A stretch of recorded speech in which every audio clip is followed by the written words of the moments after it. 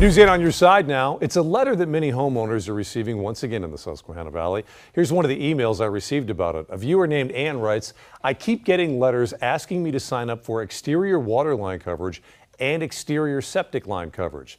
Is this a scam? Well, it's hard to call this letter a scam, but it is easy to call it a waste of money. The 8 on Your Side team has examined these insurance offers many times over the years. Here's what you need to know about them. Homeowners are responsible for the water line on their property. The shutoff valve for your property is usually near your front sidewalk front of your house in the street. Anything between that valve and your home, it is your responsibility. But that water line very seldom fails.